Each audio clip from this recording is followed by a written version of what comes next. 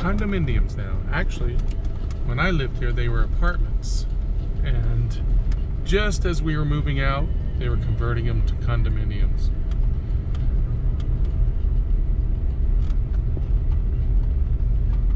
Everything kind of looks the same. Actually, it does look familiar. As if I've been here before.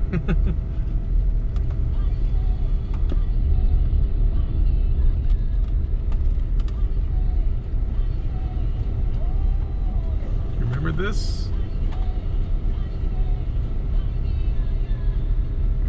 That top corner is used to, is where I used to live.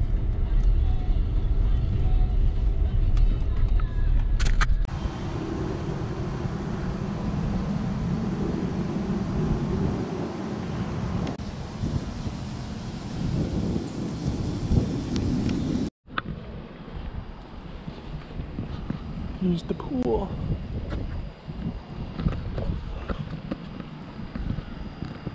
The clubhouse where I used to hang out.